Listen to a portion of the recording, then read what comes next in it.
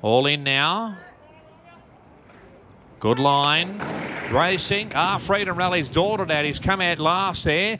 Out wide, we had Zarastro, Prince of Boom, the first couple. Punching up into third is the inside surf dancer here to shock fourth and fifth. The outside going forward, Yellow Brick. Straight Iso, Volana. Iris Songs and Legacies trapped out. Freedom Rally a little bit worse in midfield as Fearson goes forward. Further back to Rustic Steel.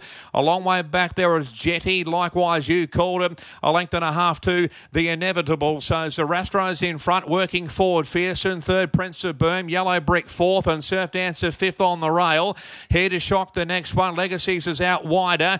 Volana, Iris Songs, and Straight Aces on the rail as they swing down the side. They've got about 600 metres left to run. Rustic Steel is going forward. Freedom Rally's a mile back at the moment. Jetty is creeping forward out wider on the track, followed further back by. The outside is the inevitable second last, and last of all, as you called it, Zarastro's in front up the 350 by length and a half. Prince of Boom. Third, the inside Surf Dancer. Here to shock. Uh, making ground as Yellow Brick down the outside. And now also coming through the field is the race favourite Freedom Rally. But Zarastro's in front. The outside Prince of Boom. Here to shock is coming home late with Freedom Rally. The inside. Here to shock and Freedom Rally are the two. Oh, it's a photo. Here to shock, Freedom Rally. Freedom Rally here to shock. Wait for the judge.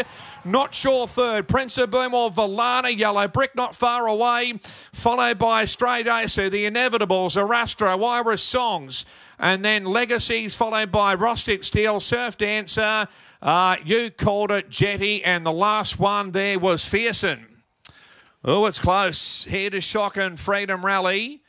Uh, Prince of Boom will be back in third, I'd reckon, looking at that number five. Uh, but eight and